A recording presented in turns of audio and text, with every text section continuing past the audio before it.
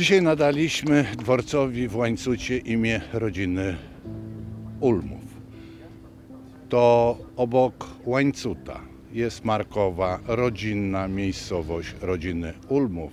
Stąd wybrane to miejsce. Można by powiedzieć, że część rodziny Ulmów, a na pewno Józef Ulma korzystał z tego dworca ruszając e, do szkół. To dlatego przede wszystkim ten dworzec w Łańcucie ma to imię, a to jest e, w ramach dużej naszej akcji również nadawania imion wielkich Polaków e, dworcom kolejowym w ramach ogólnej akcji historycznej. Lokalny artysta jest autorem tego murala. To również powiązanie miejsca i wydarzenia chyba nic lepszego, kiedy przedstawiciel ludności Podkarpacia wykonuje mural upamiętniający jedną z najważniejszych rodzin tego regionu. Przypominanie ofiary życia rodziny Ulmów, zamordowanej przez Niemców za to, że ratowali Żydów, to nie tylko sprawiedliwość wobec tych polskich bohaterów, ale to polska racja stanu.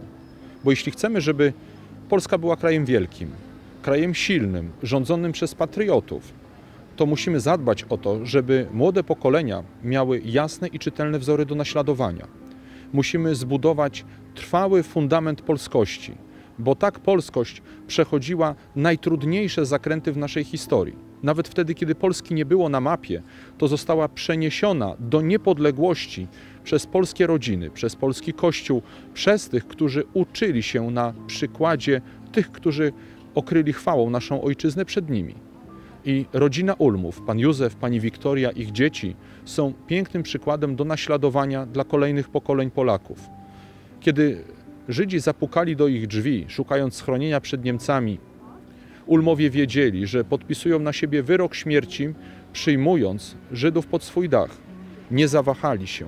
Honorujemy ich dlatego, że są wyjątkową rodziną i wyjątkowym bohaterstwem się odznaczyli, ale jednocześnie są opowieścią w ogóle o polskiej rodzinie i o tamtych czasach.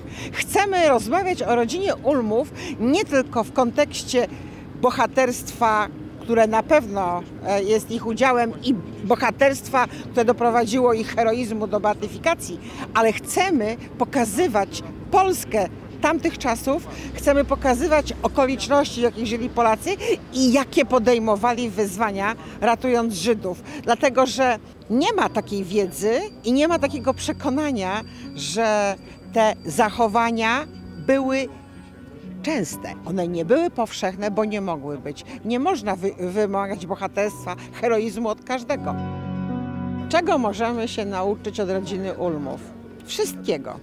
Od miłości, szacunku, pracowitości, organizacji, mądrości, zaangażowania.